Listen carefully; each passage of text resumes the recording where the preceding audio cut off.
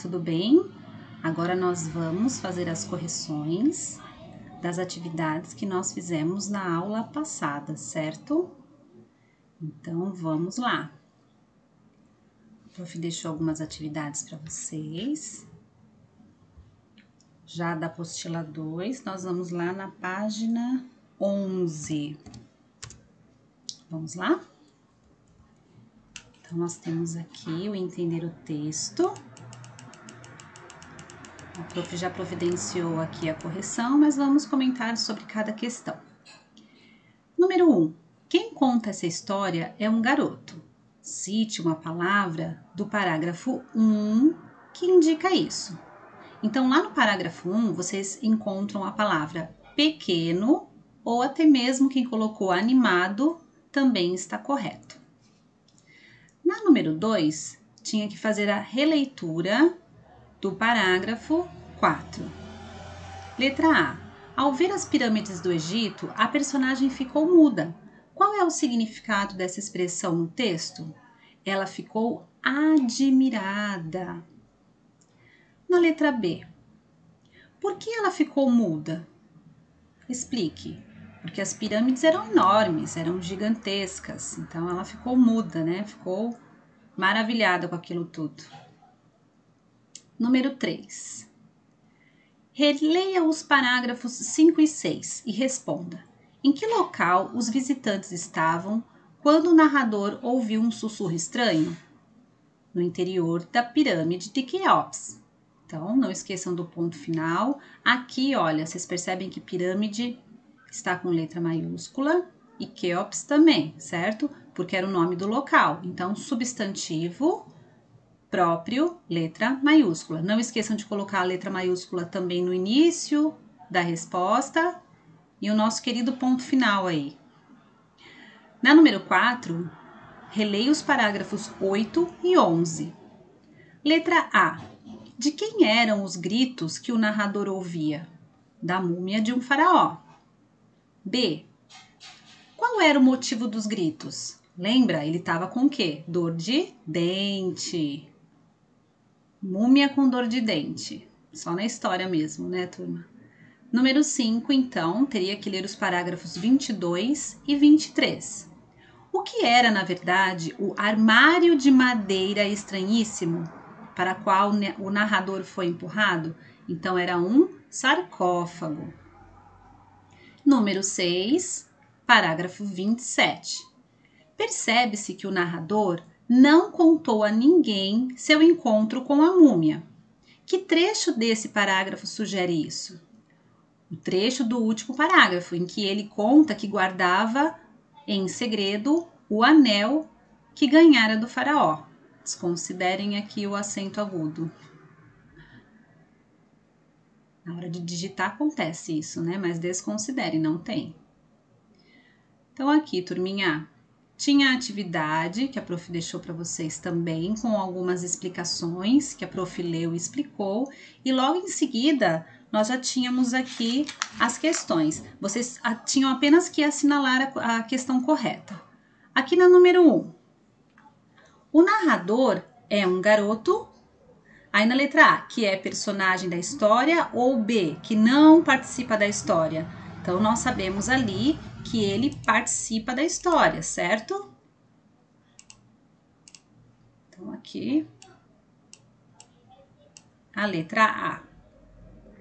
Número 2. Em qual alternativa todas as palavras e expressões são usadas pelo narrador para causar medo ao leitor? Então ali ele tinha que causar medo. Aí ele utilizou as palavras da alternativa B: sussurro de além-túmulo, escuridão total, lúgubre e arrepiante. Na número 3, o modo como o narrador descreve o local em que ficou preso, lá no parágrafo 7, serve para. Quem colocou a alternativa A está correto, impressionar o leitor. Lembra que lá no comecinho da leitura a prof falou que era um texto misterioso, um texto de mistério? Então a intenção dele não era tranquilizar, né? não era falar do, do interior da pirâmide. Lá ele fala para impressionar o leitor. Aqui na 4. Ao organizar o enredo, o autor escreveu este fato para indicar ou iniciar o clima de suspense. Então, aqui, ó. Eu ia no fim do grupo, distraído, quando escutei um estranho ruído. Então, olha aqui, ó. Aqui já sugere o quê? Suspense. E na número 5, o fato engraçado dessa narrativa, com certeza aqui, né? O fato da múmia ter dor de dentes. Ok? Então, depois, logo adiante aqui, a gente também faz a correção da tarefa. Mas vamos prosseguir aqui no estudar a língua 1. No estudar a língua 1, nós temos aqui, você já estudou, então, substantivos e adjetivos. Foi o assunto também da nossa avaliação, certo? Então, só lembrando aqui que os substantivos, eles vão nomear as coisas do mundo, seres vivos, elementos da natureza, objetos, sentimentos. E ele sempre vai é, ser acompanhado, sempre não, mas quando for acompanhado com uma característica, eu vou chamar essa característica de adjetivo. Então, aqui embaixo nós temos assim, ó, garoto pequeno. Então, garoto tá? Ele vai nomear um ser, então é um substantivo. Se fosse mais a fundo aqui, nós poderíamos dizer também que é um substantivo o quê? Comum ou próprio? Comum, garoto, existem vários garotos, né? Então por isso que até que eu posso colocar aqui, ó, com a letra minúscula, certo? Apenas se tivesse no início de uma frase, de uma resposta, aí nós colocaríamos com a letra maiúscula, mas ele é minúsculo porque é um substantivo comum. Então, o que, que caracteriza o garoto? Ele era o quê? Pequeno. Então, essa característica pequeno que se refere ao substantivo, eu vou chamar de adjetivo, certo? Como ele é. Então, aqui, ó, que nós já estudamos. O garoto aqui está no masculino e no singular. Então, o adjetivo ele vai acompanhar também masculino e singular. Aqui, ó, longa viagem. Então, como que era a, a viagem? A viagem foi longa. Então, vocês percebem aqui que o adjetivo ele pode aparecer antes do substantivo ou depois, certo? Aqui, ó, viagem longa. Então, viagem aqui no caso, o substantivo. E como que foi essa viagem? Foi uma viagem longa. Então, aqui o que caracteriza essa viagem? Ó, o adjetivo. Então, aqui é só para relembrar mesmo, tá? Então, aqui seguindo adiante, eu vou deixar essas atividades aqui para vocês. Então, prestem atenção, ó. Quem tiver com o lápis na mão aí, foi prestando atenção, dá até para pegando as dicas aí para fazer depois, certo? Então, aqui, ó. Número 1. Um, nos trechos a seguir, que pertence à narrativa Trancado entre Múmias, alguns substantivos nomeiam coisas relacionadas à inquietação, medo e susto. Lembrando que se tem inquietação, medo e susto, ele seguiu o roteiro de um texto misterioso. Então, ó, por isso eles contribuem para o suspense da narrativa, certo? Que era a intenção aí do narrador. Então, Pintios. Aí na primeira, na letra A. Nos contos. No, desculpa, pessoal, aqui, ó. Na letra A. Tô seguindo aqui, seguindo a apostila. Então, vamos retomar aqui, ó. Nos contou histórias arrepiantes de assaltantes. Então, aqui, ó, que será, ó, o que, que contribui aí pro, pro suspense da narrativa, tá? Letra B. Me fez sentir calafrios. O que, que será, né? Que ajuda aí para esse medo, esse suspense, essa inquietação. Letra C. Eram palavras profundas que umas vezes pareciam queixas e outras outras gritos de raiva e aborrecimento, tá? Então, prestem atenção aí. Então, sempre seguindo aí, procurando o substantivo que ajudou aí nessa narrativa. E letra D. E esta é a tumba do grande Kelps, segundo faraó da quarta dinastia. Tá? Então, qual foi o substantivo aí utilizado para ajudar aí no suspense da narrativa? Olha as dicas aí, hein, turma? Então, pensando sempre no substantivo, no caso aqui dessa atividade. É só pintar. Na número 2. Agora pinte os adjetivos. Agora nós vamos falar de características que também ajudam a criar o clima de suspense da narrativa e a transmitir ao leitor sensações de inquietação e medo. Depois, grife os substantivos que são acompanhados por esses adjetivos. Então, primeiro momento, pintar os adjetivos e depois grifar os substantivos. Então, aqui, ó, na primeira. Ela deslizou para o lado deixando um vazio escuro e lúgubre. Ok? Então, ela deslizou para o lado, deixando um vazio escuro e lúgubre. Então, procurem aí os adjetivos. Aí, no caso, tem dois adjetivos e temos um substantivo. Então, presta atenção, certo? Na letra B, a escuridão era total. Então, ó, a escuridão era total. O ambiente pesado, ó, ambiente pesado. Quase não se podia respirar e os sussurros haviam se transformado em gritos distantes. Tá? Olha aqui, ó, gritos distantes. Então presta atenção quem são os adjetivos qual é o substantivo que aparece junto aí. Na letra C, tive a impressão de pisar num chão úmido e escorregadio, onde com certeza havia muitos animais nojentos. E na letra D, continuava ouvindo os gritos arrepiantes que pareciam vir da direita, certo?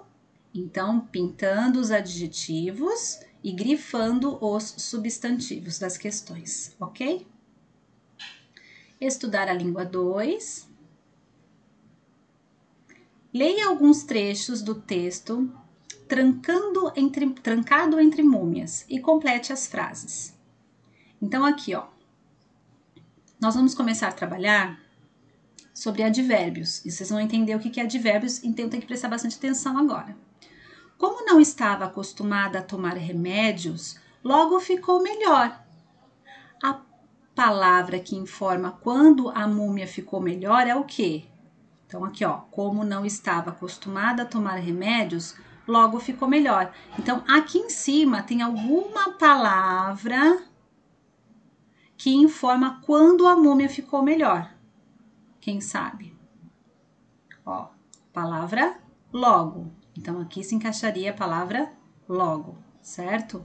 Esse logo aqui, ele está indicando o tempo que ocorreu isso.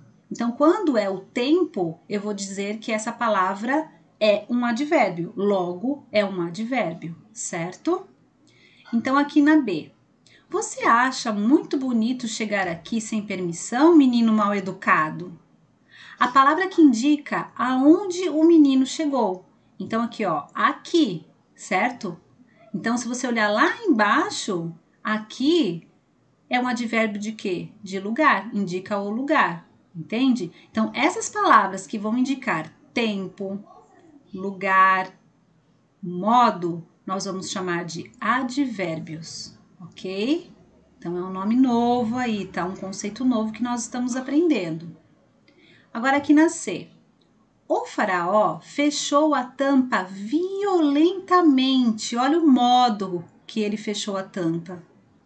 A palavra que indica de que modo o faraó fechou a tampa é violentamente. Então, violentamente, ó, é o modo pelo qual ele fechou a tampa. Então, violentamente, eu falo que é um advérbio certo? Então, lembrando aqui, tudo que indica tempo, lugar e modo, nós vamos chamar de advérbios, ok?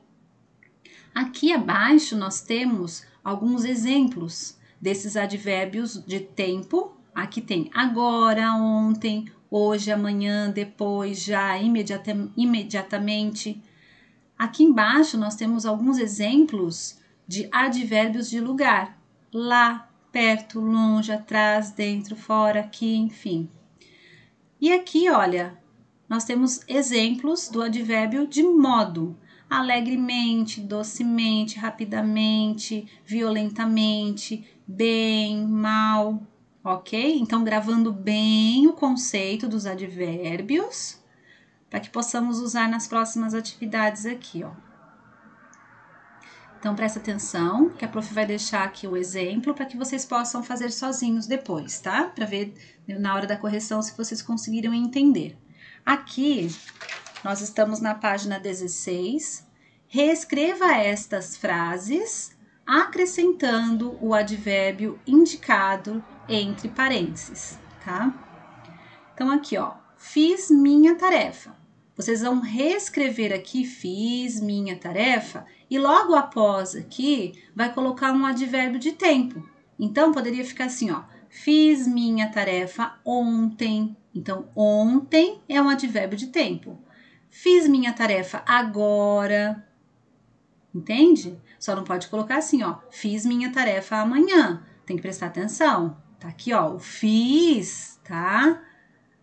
Um passado aí próximo, né? Ou um bem distante. Então, o futuro não entra aqui. Então, aqui, ó, o cão latia.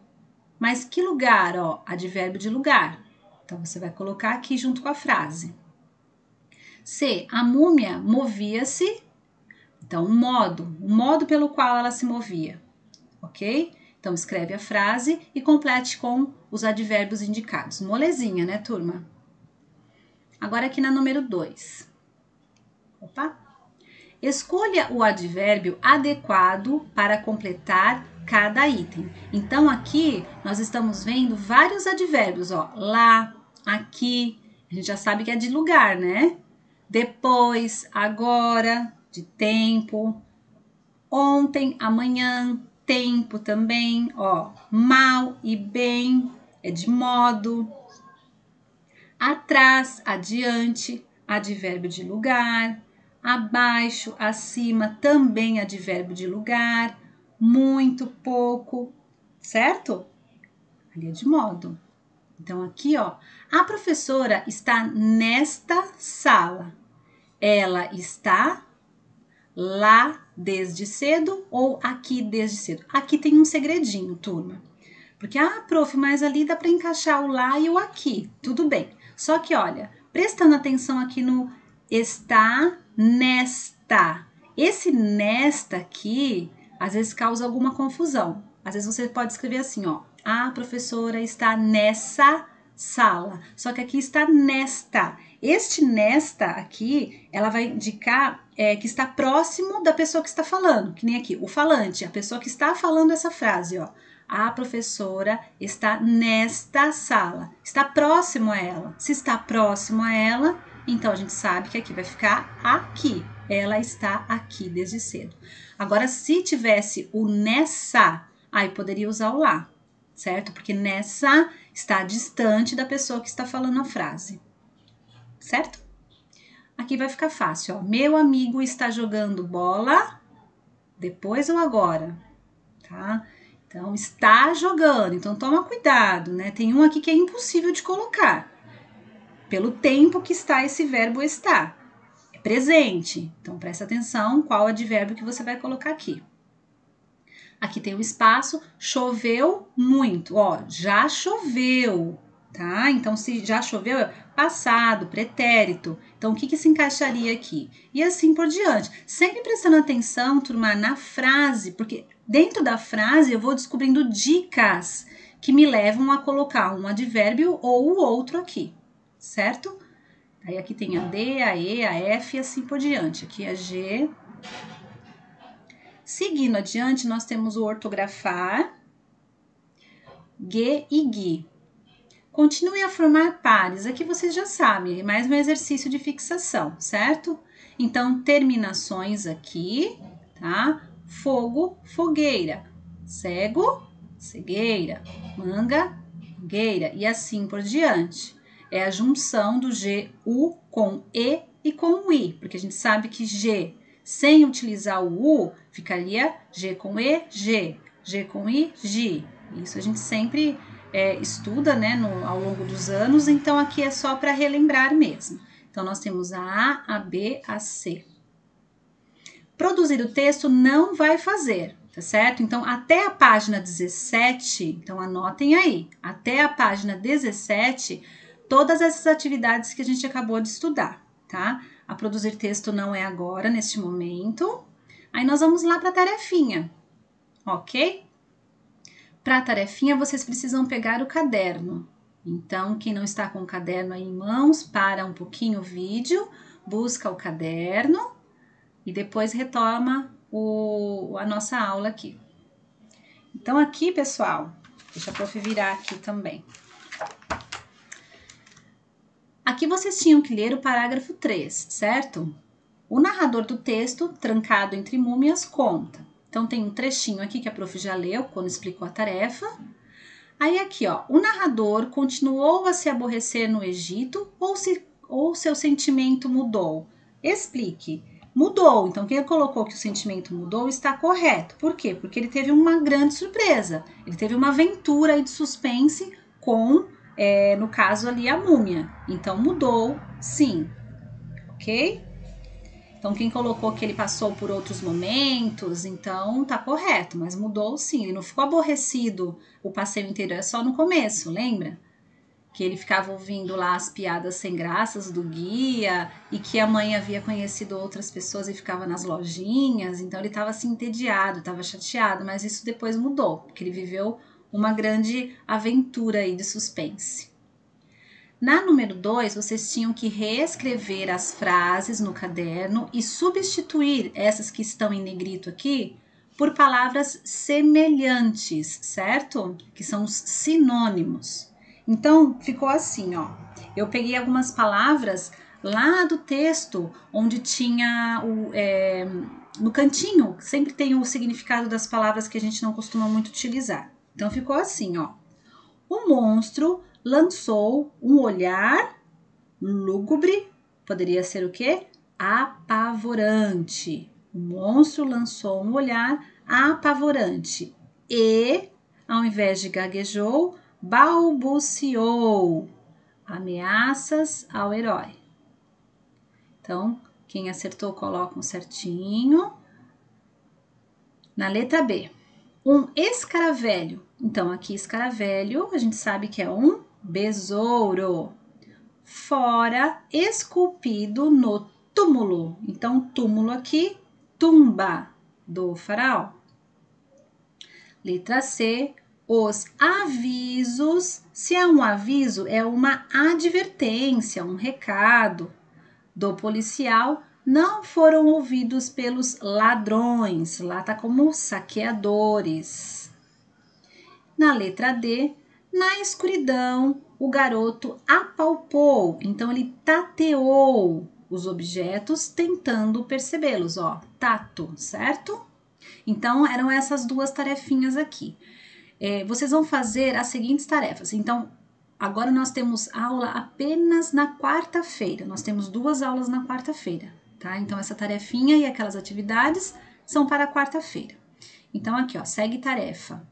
Exercício 3, os fatos abaixo fazem parte da narrativa Trancado entre Múmias. Então, vocês vão copiá-los no caderno, mas na ordem em que aparecem, né? Na ordem que os acontecimentos ocorrem lá no texto.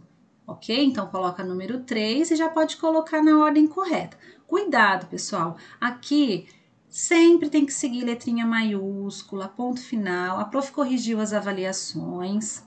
É, procurei corrigir assim bem rapidinho. Eu estava bem ansiosa para ver como que vocês tinham é, tinham ido, né? Tinham se saído na, na avaliação e algumas avaliações eu ainda encontro com Início de frase minúsculo não pode, turma. A gente sempre repete a mesma coisa. Início de frase, letra maiúscula, maiúscula. Tomem cuidado também com a caligrafia, certo? Vocês têm condições de observar o, o que vocês escrevem e falar assim: nossa, minha letra não tá bacana, né? Ah, não, minha letra já tá legal. Peguem o caderno de caligrafia e façam o exercício da escrita das palavras, certo? Para quem ainda está precisando. E outra coisa que me chama muito a atenção é sempre a mesma historinha do ponto final. Né, que em sala de aula a prof vai passando as atividades. Pessoal, ponto final, ponto final. E ainda encontrei frases sem pontuação, sem o ponto final. Então prestem atenção. Joia? Então aqui na 4, Mude o que está destacado nos trechos para que o narrador não seja personagem da história, tá? Então aqui nós temos, ó, destacado aqui, levantei-me, então eles destacaram o final, né? Ei-me. E aqui na palavra encontrei, o final também ei narrador personagem, que é o que acontece naquele texto trancado entre múmias. Ó, levantei-me do, do sarcófago, surpreso, tentando encontrar o mecanismo que abria a tumba para a câmara do tesouro, mas não encontrei. Certo? Porque o narrador faz parte da história. Aí o que, que vocês vão fazer? Vocês vão transformar a frase como se o narrador não é personagem daquela fala, né, daquela história. Então aqui, ó, olha só como mudou. Lá em cima, quando o narrador faz parte, né, quando é personagem, ó, levantei-me. Então, quando ele não é personagem, fica levantou-se. Levantou-se do sarcófago surpreso, tentando encontrar o mecanismo que abria a tumba para a câmara do tesouro, mas não encontrou. Então lá era encontrei, mudou o final, encontrou. O mesmo vocês vão fazer com a, a B e a C, tá? Sempre aqui, ó, observando o que está em destaque. Então aqui tá, ó, eu me aborrecia. Esse eu me aborrecia, se eu não faço parte da história, eu vou colocar ele se aborrecia, ok? E assim por diante.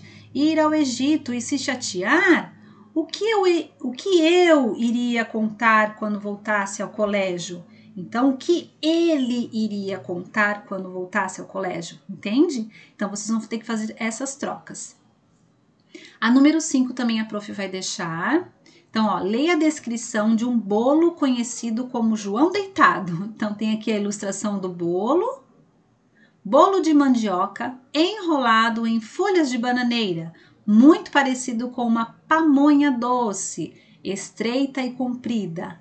É uma receita deliciosa, tradicional e passada de geração em geração. O prof não, não conhece esse bolo, mas aqui pamonha doce, esse eu conheço. Lá da onde eu vim, tem bastante, é bem saboroso. Mas esse aqui, esse bolo deve ser gostoso também. Deu até vontade de provar. Aí vocês vão seguir adiante Vamos lá para a atividade da página 21. Encontre nesse texto, ó, no texto que foi lido aqui, ó, certo? Então, deixa a prof baixar aqui.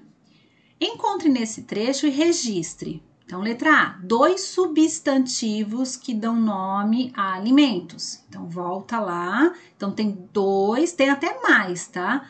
Então, peguem só dois substantivos que nomeiam alimentos. Vou dar uma dica aqui, hein, pessoal, só de exemplo, tá? Então, ó, bolo é um substantivo que nomeia um alimento, certo? Pamonha é um substantivo que nomeia um alimento, ok? Assim fica muito moleza, né? Aqui na B, três adjetivos que indicam o formato de algo, de algo que tem na ó, na parte aqui do, do texto, certo? Então, adjetivo, característica. C, dois adjetivos, duas características que indicam o sabor de alimento. Então, aqui não é para inventar as características, tem que tirar lá do texto. Na número 6, escreva o nome de, letra A, um alimento de que você goste e três adjetivos para qualificá-los, certo? Então, esse aqui sim, agora é um alimento que você gosta. Um alimento, três características, três adjetivos. B, um lugar que lhe agrade e três adjetivos para qualificá-lo, certo? Então, são as qualidades desse local. C, um animal de que você tenha medo e três adjetivos para qualificá-lo. Certo? Fácil, né? Agora aqui na 7. Reescreva as frases a seguir, incluindo um advérbio de acordo com a instrução que está entre parênteses. Então, letra A: os automóveis rodavam nas ruas. Então, você vai ter que incluir o que? Um advérbio de tempo. Eu posso colocar assim, por exemplo: ontem os automóveis rodavam nas ruas, certo? Então, isso na B e na C também. Só que na B é de lugar e na C é de modo. Vocês vão fazer só até a número 8, ok? Faça uma lista de cinco animais, lugares e personagens que provocam medo em você. Eles podem ser reais ou imaginários, certo? Então seria isso para a aula de hoje. A número 9 e a número 10 nós não vamos fazer. Em alguma, alguns momentos, é, nós vamos deixar de fazer algumas atividades, ok, pessoal? A prof vai começar a dar uma filtrada para ver o que, que é bem importante para que seja feito nesse momento, ok? Então, seria isso. Então, até a próxima aula. Beijo para vocês. Tchau, tchau.